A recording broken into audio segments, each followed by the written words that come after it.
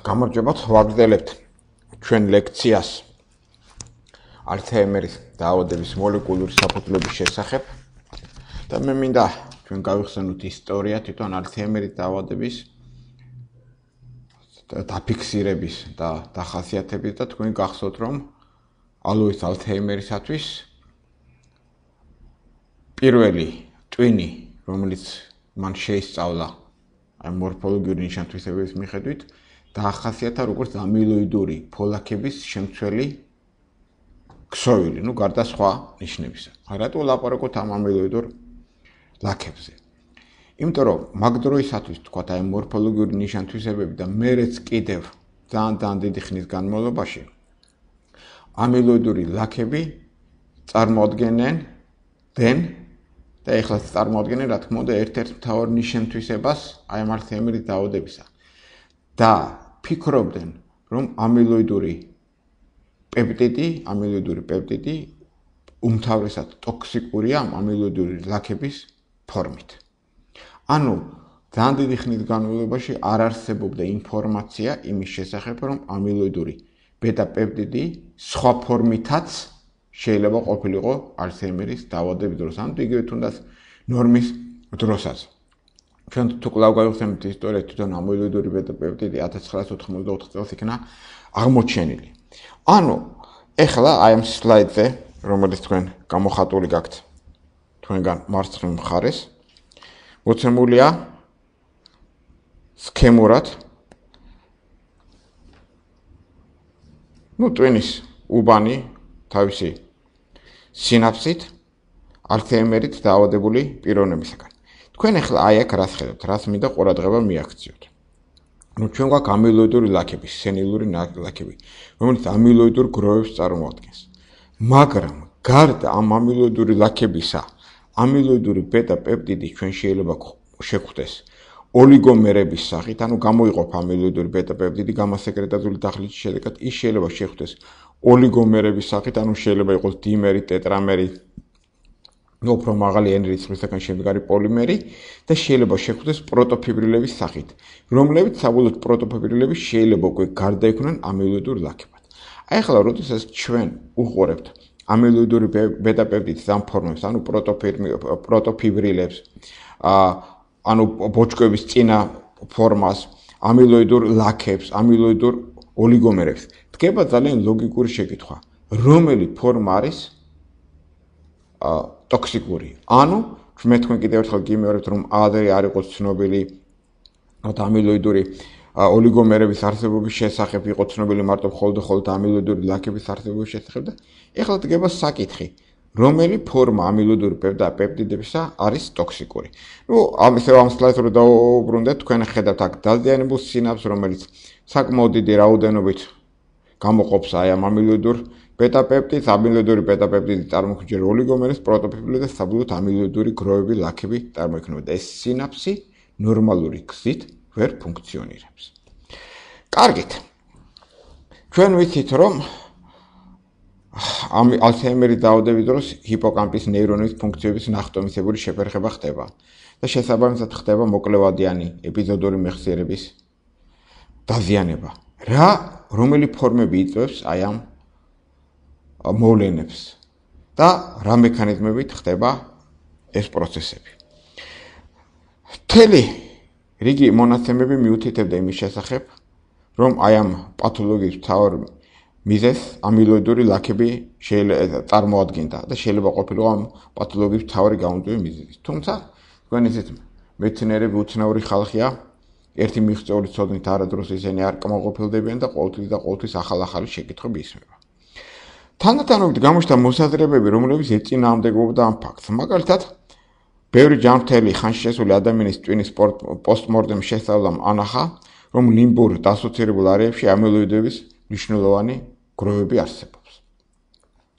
ეხლა ეს თითქოს მიუთითებდა იმას, რომ თუ ამ ხალხს აქვს ამილოიდური გროვები და თუ ისინი ჯანმრთელები არიან აი ამ პარამეტრის მიხედვით, იყვნენ გადაცვალებადი პარამეტრის მიხედვით, მაშინ თითქოს და ამილოიდური ლაქები არ უნდა თამაშობდნენ მნიშვნელოვან როლს აი ამ ალცჰაიმერის დაავადების განვითარებაში. მაგრამ ну, რა თქმა უნდა ეს დისკუსიის საკითხი გახდა, მაგრამ ნაჩვენები იქნა რომ ბევრ შემთხვევაში ამ პოსტმორტემ შესწავლებში ეს ამილოიდები დიფუზური ტიპის იყვნენ.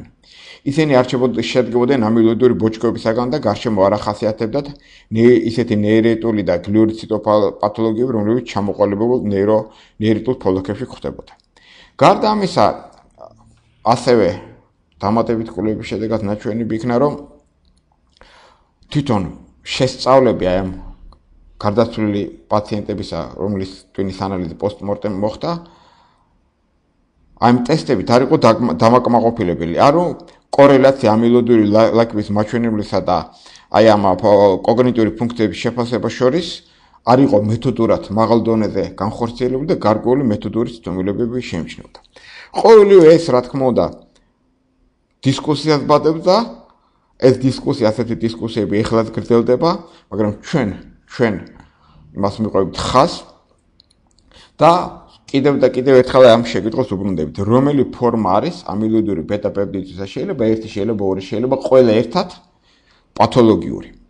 ნანახი იქნა, რომ ბიოქიმიურად გაზომილი დონეები ხსნადი ამილოიდური ბეტა-პეპტიდებისა, მათ შორის ხსნადი ოლიგომერებისა, რაც ყოველდღე უფრო მნიშვნელოვანია, უკეთესად კორელირებს კოგნიტიური დეფიციტის დონესთან ვიდრე ფოლაკების რაოდენობა. ანუ ეხლა ესე იგი შემდგომ კვლევებში ნანახი იქნა, რომ თუ ჩვენ ზომავთ მაგალითად აი ხსნადი ოლიგომერების დონე, სამხსნადი ოლიგომერების დონე, ბეტა-ამილოიდური პეპტიდის ოლიგომერების დონე უფრო კარგ და სარწმუნო კორელაციაშია კოგნიტური დეფიციტთან, კოგნიტური დეფიციტი თქვენ ისით, რომ ეს არის ალცჰაიმერის დაავადების ერთ-ერთი მთავარი ნიშან-თვისება, აი ამ გარეგან გამოვლენებაზე და ეს ოლიგომერების რაოდენობა უფრო კარგ კორელაციაში იყო ვიდრე ფოლაკების რაოდენობა.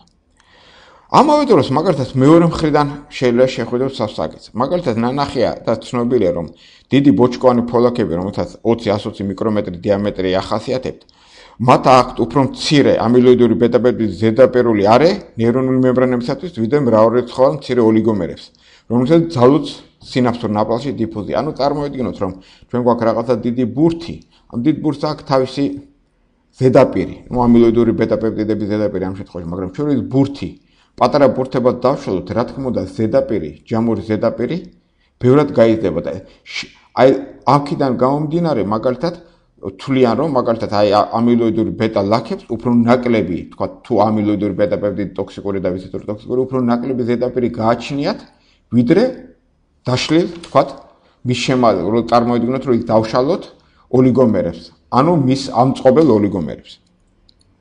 ყოველი და ამავე დროს ეს ოლიგომერები უფრო დიდი ძვრადობით ხასიათებიან, უფრო შეუძლია შევიდნენ სინაფსურ ნაპრალში, მაგათად ვიდრე შეუძლია ამ დიდ ოლიგომერს. ეს ყოველი კლავ და კლავ ბადებდა ეჭს და ბადებდა ეჭს რომ ამილოიდური ფოლაკები შეიძლება არ იყვნენ თავარი მიზეზი ამ ტოქსიკურობისა და ბადებდა იდეას იმის შესახებ, რომ ეს ოლიგომერები, ხსნადი ოლიგომერები შეიძლება უფრო უკეთესი მედიატორები იყვნენ სამწუხაროდ აი ამ ნეიროტოქსიკურობისა. და უფრო კარგ ეფექტორებს წარმოადგენს სინაფსური დისფუნქციისათვის ვიდრე ამილოიდური ლაქები.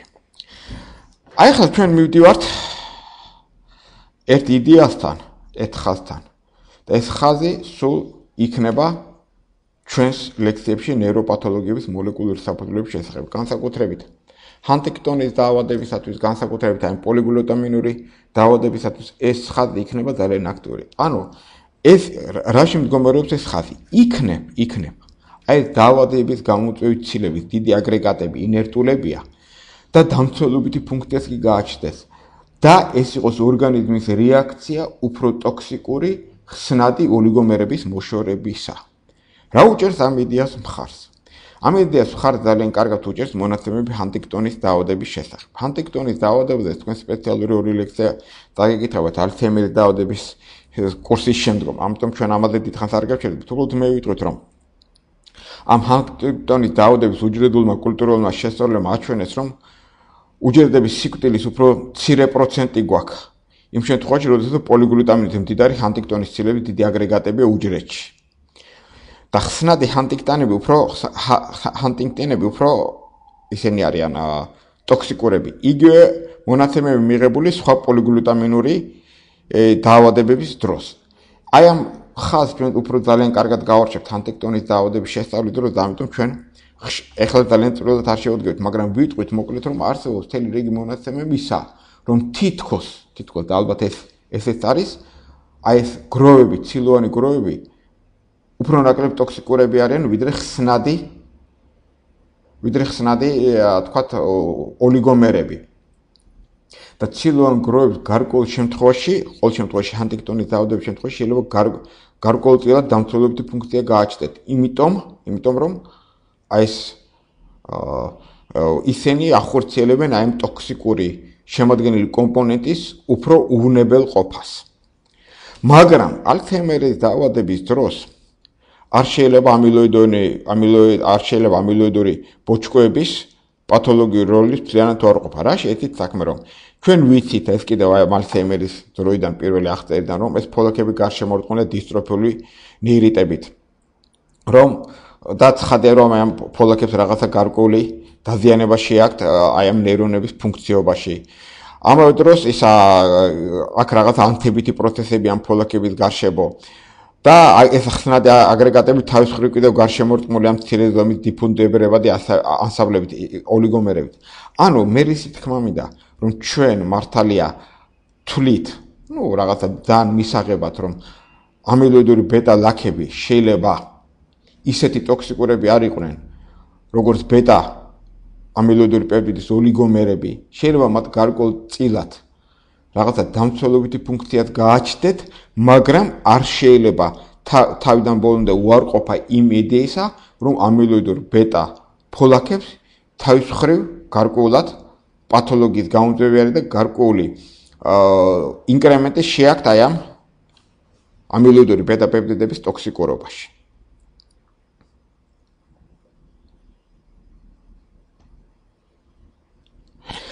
თუ შეიძლება ვივარაუდოთ, რომ ამილოიდური ბეტა-პეპტიდების ოლიგომერები უფრო ტოქსიკურები არიან ვიდრე თვითონ ამილოიდური ბეტა-პეპტიდების ლაქები.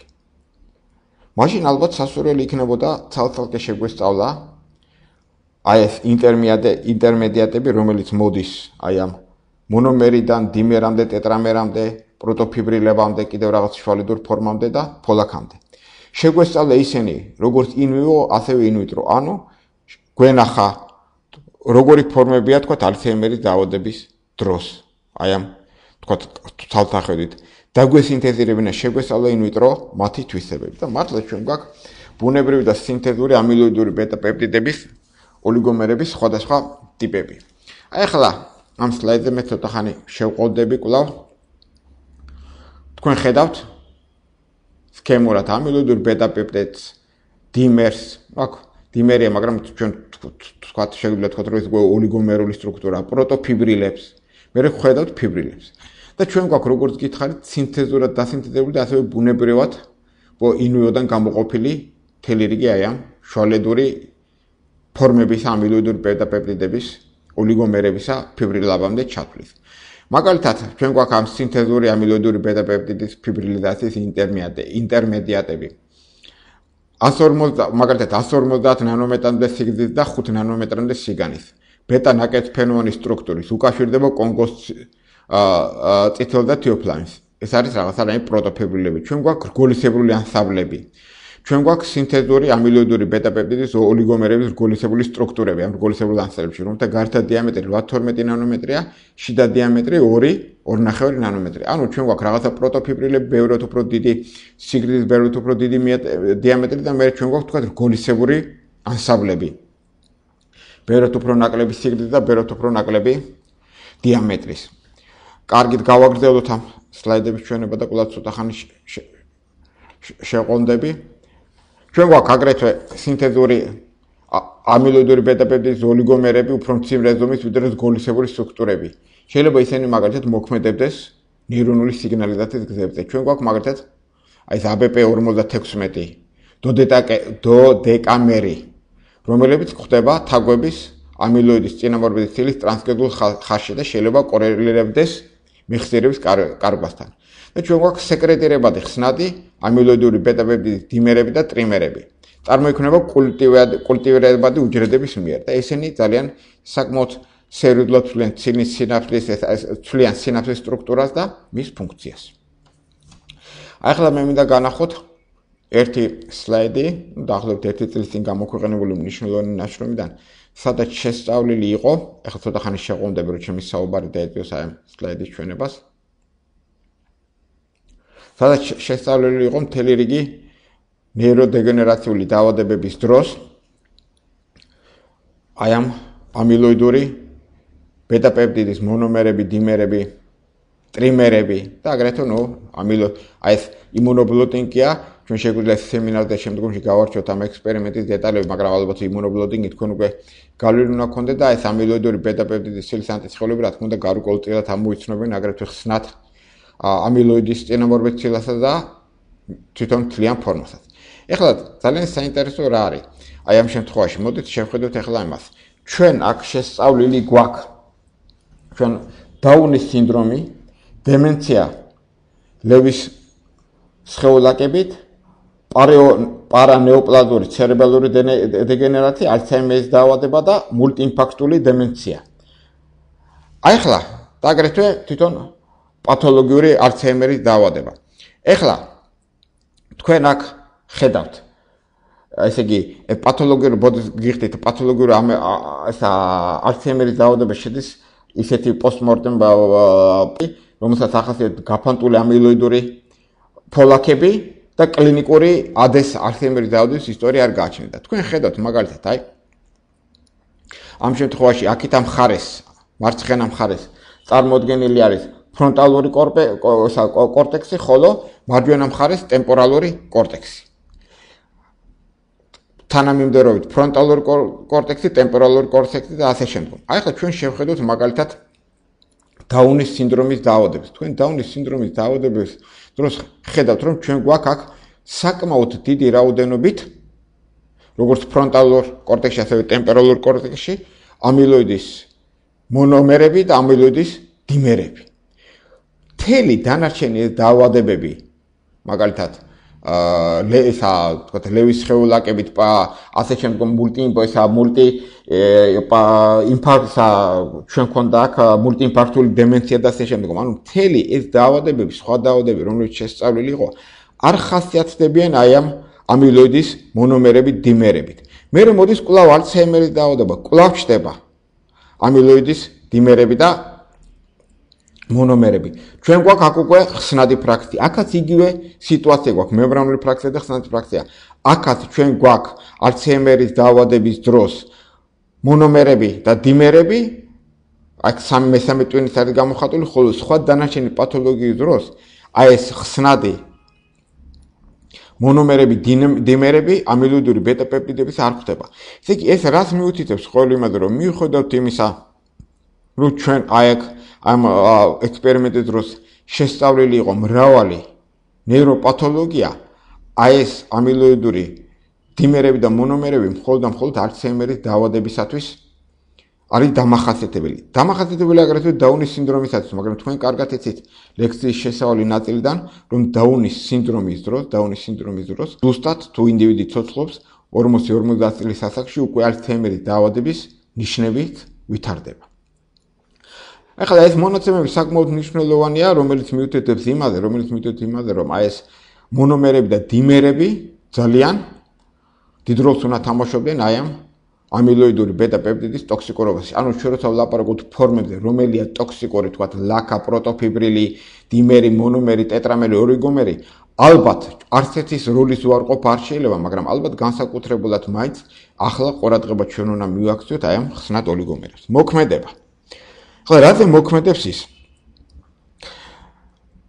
აი ეს როგორც სინთეზური ასევე ბუნებრივი ოლიგომერები აფერხებენ ჰიპოკამპალურ გრძელვადიან პოტენციაციას. თქვენ იცით რომ ჰიპოკამპალური გრძელვადიანი პოტენციაცია სხვა კურსებიდან ჩვენი სამაგისტრო პროგრამის არის სინაფსური პლასტიურობის ერთ-ერთი აი ესე იგი სახე და გარკვეული მეხსიერებისათვის ის რაღაცა უჯრედულ მექანიზმსაც შეიძლება წარმოადგენდეს ეს ოლიგომერები ასევე აფერხებენ მეხსიერების კვალის ჩამოყალიბებას თაგვებში. ეხლა მექანიზმების შესახებ ჩვენ ვიცით რომ თქვათ ეს ოლიგომერები აფერხებენ პოტენციაციას, აფერხებენ იმას მეხსიერების ჩამოყალიბებას. რა მექანიზმები შეიძლება იყოს? ამის შესახებ რაღაცა ალბათ ათასობით სტატია, მაგრამ მე ყოველ შემთხვევაში შევჩერდები ზოგადად მხოლოდ იმ ცნობილ ვარიანტებზე, რაც კარგად არის ცნობილი. მაგალითად, ამილოიდური ბეტა-პეპტიდები უკავშირდებიან ნიკოტინური აცეტილქოლინური რეცეპტორის ალფა-7 ტიპს. თქვენ გახსოვთ ალბათ ნეიროქიმიის სელექციო კურსიდან, რომ ეს არის ყველაზე ძლიერი კალციუმის იონოფორი, რომელიც აი ცენტრალურ ნერვულ სისტემაში ნიკოტინური ქოლინორეცეპტორი ასეთი ტიპითაც შეიძლება იყოს წარმოქმნილი ალფა-7 ტიპისაზე, რომელიც ძალიან ძლიერი კალციუმის იონოფორია. და აი ამ დაკავშირებით იწვევენ NMDA ტიპის გლუტამატური რეცეპტორის ენდოციტოს. ამო ჩვენ შეგვგონ სლაიდზე ვნახოთ. მთელი რიგი დაღმავალი პროცესები იცვლება სინაფსურ პროცესი, სინაფსურ მემბრანაზე ამილოიდური ბეტა-პეპტიდების მოქმედებით. სასიგნალო გზები, კალციუმის ჰომეოსტაზი, ჟანგბადების რეაქციული სახეების რაოდენობა, ანთებითი კასკადები და მიტოქონდრიების ფუნქციება. მარტო ალცჰაიმერის დაავადებაზე და მიტოქონდრიების ფუნქციებაზე ამის ცალკე ორი ლექციის საკითხვა შეიძლება და დოქტორანტურაში სწავლის პერიოდში ვინც გააგრძელებთ ამ მიმართულებით, ჩვენ გვაქვს ერთი კურსი ამ მიტოქონდრიების შესახებ და ძალიან ბევრი საუბარი გვექნება ზუსტად ამ ალცჰაიმერის დაავადებისა და დროს მიტოქონდრიების ფუნქციების შესახებ.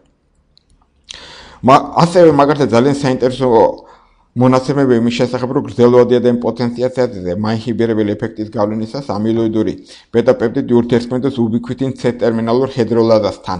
ეს არის პროტეოსომის გზების შემადგენელი კომპონენტი ძალიან საინტერესო პროტეოსომა და საინტერესო, იმიტომ რომ თქვენ უნდა იცოდეთ, რომ როგორც ცილის სინთეზი ნორმაში უნდა მიმდინარეობდეს, ასევე ცილის დაშლაც უნდა მიმდინარეობდეს. ნორმაში, ცილის დაშლა დეგრადაციის გადახრა ნორმისაგან ყოველთვის პათოლოგიას იწვევს და თქვენ ანუ ახლა ამადედას კიდევ მრავალი პათოლოგიის განხილვა შეიძლება თქვათ ამას თქვენ შემდგომში შეისწავლით და აი თქვათ ეს ამილოიდური პეტა პეპტიდი, როდესაც მაინჰიბირებლად მოქმედებს გრძელვადიან პოტენციაციაზე, მას შემაფერხებელი მოვლენა ეფექტი გაჩნია მობიკვიტინ C ტერმინალურ ჰიდროლაზაზე.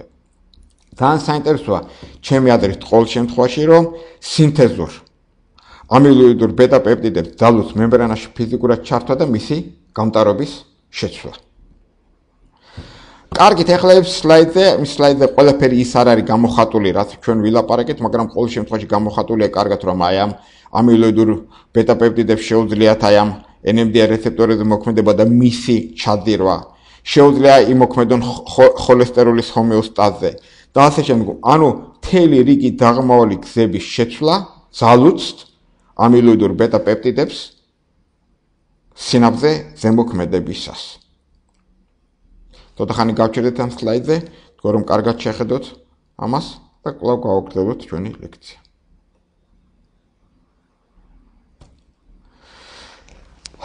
მე აი რამოდენმე წუთის წინ გითხარით რომ როგორც ცილის სინთეზია მნიშვნელოვანი, ისევე მისი დეგრადაციის ნორმაში არსებობა არის მნიშვნელოვანი. და ჩვენ შეგვიძლია ლოგიკურად ვივარაუდოთ რომ კი შეიძლება ამილოიდური ბეტა ლაქების ამილოიდური ბეტა ოლიგომერების წარმოქმნის მიზეზი ამილოიდის წინამორბედის გაძლიერებული კატაბოლიზმი იყოს აი ამ გზით, გამოსეკრეტებული გზით, პათოგენური გზით, ამილოიდოგენური გზით, მაგრამ შეგვიძლია ასევე ლოგიკურად ვივარაუდოთ, ასევე ლოგიკურად ვივარაუდოთ, რომ შეიძლება ალცჰაიმერის დაავადების განვითარების ერთ-ერთ მიზეზს მიზეზს წარმოადგენდეს უკვე წარმოქმნილი ამილოიდური ბეტა-პეპტიდების შენებული კატა შენელებული კატაბოლიზმი. ანუ შეიძლება წარმოქმნილ წარმოქმნილ თას სიტუაცია რომ ამილოიდური ბეტა-პეპტიდი ნორმალური რაოდენობით წარმოიქმნება, მაგრამ მისი შენელებული დეგრადაცია, მისი შენებული შენელებული კატაბოლიზმი განაპირობებს ალცჰაიმერის დაავადებას. და ჩვენ როდესაც ვლაპარაკობთ, ახლა ჩვენ აი მუტაციებზე ვლაპარაკობთ, რომლებიც აი ამ ალცჰაიმერის დაავადების ადრინდელი ფორმის განვითარებას იწყებს. შესაძლებელია, რომ ალცჰაიმერის დაავადების გვიან დაწყებითი სპორადული ფორმების განვითარების ერთ-ერთ ფაქტორს ზუსტად ამილოიდური ბეტა-პეპტიდების შენელებული პროტეოლიზი წარმოადგენს.